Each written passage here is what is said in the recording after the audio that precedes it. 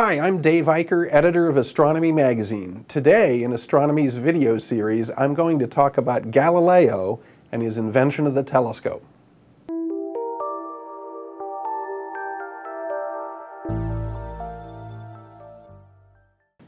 On August 25, 1609, the cosmos changed forever. On that day in Venice, Galileo unpacked his recently invented telescope, a leather-tooled 10-power instrument with an aperture about the size of a Venetian crown, about two inches. Galileo was quickly called into the Doge's palace where two of his friends met him, followed by an excited mob of council members who all reached out to the mysterious tube. The Doge, Leonardo Donia, received Galileo in the midst of his counselors, the Venetian naval commanders, and chiefs of the Venetian Council of Ten. Beneath Tintoretto's Triumph of Venice, which decorated the ceiling, Galileo introduced the Venetian leaders to what would become a new world of science. The group then climbed St. Mark's Campanile, where Galileo demonstrated the telescope to them. Galileo showed his guests distant views of Padua, of Treviso, of Conegliano, which was more than 50 miles away. They saw ships on the horizon of the Adriatic that would not appear to the naked eye for another two hours. They observed parishioners entering a church on the island of Murano, which were invisible to the eye alone. The military value of the instrument was obvious. In an instant, Galileo shocked and stunned them as if by magic. It was a triumph of Venice. In the Doge's palace, Galileo knelt before Donia and said, I, Galileo Galilei, the humble servant of your highness, now bring this artifice. Judging that this instrument is worthy of being received by you, I give it to you as a present. In the Senate chamber, underneath Tintoretto, Galileo was asked to stay. The Doge doubled his salary, gave him an appointment for life, and a bonus amounting to a year's salary. Galileo was hailed as a genius. Three weeks earlier, he had proven that he was. Galileo was born February 15, 1564 in Pisa in the Duchy of Florence. He died at age 77 on January 8, 1642 at Arcetri in Tuscany. Galileo's father Vincenzo was a well-known musician, a lutenist. His mother, Giulia Ammannati, was a bitter, shrill woman who came from a high social status and believed her husband never earned enough money. Galileo was the first of seven children in the family. When Galileo was eight, his family moved to Florence but left him with a tutor.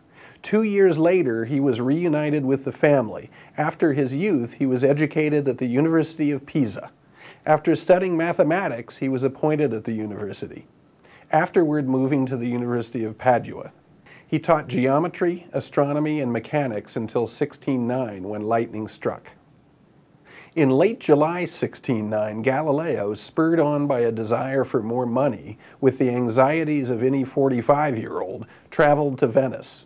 One day after he arrived, he heard a rumor that nearly drove him crazy. A device made with ordinary spectacle lenses, fashioned within a tube, could magnify objects at a distance, making them easy to see.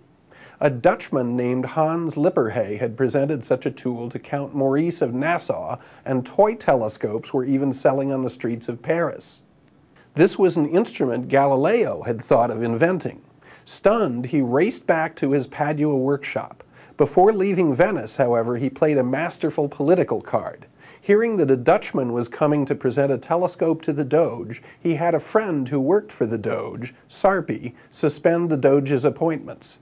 Galileo now had an opportunity. August 2nd and 3rd, 1609 was a day of scientific grandeur.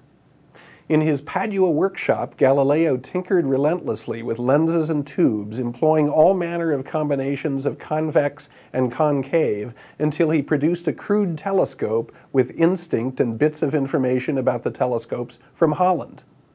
In an amazing 24-hour period, Galileo reinvented the telescope independently. Fifteen years later, he wrote, The night after my return, I solved it.